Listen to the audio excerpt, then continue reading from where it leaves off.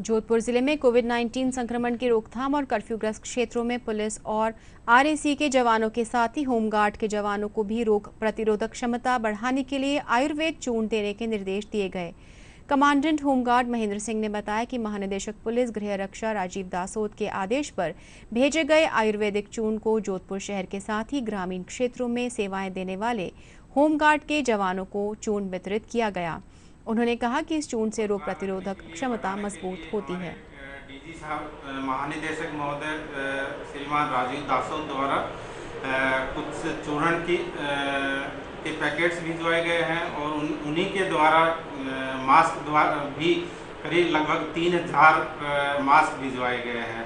हमारे जवानों को हौसला अफजाई रखने के लिए इनके इन, इनको एक यूनिट सिस्टम को बरकरार रखने के लिए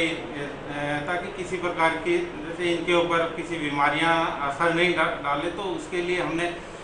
लगभग 1500 ये जो चूरण के जो पैकेट्स हैं, ये इनमें वितरण किए किए गए।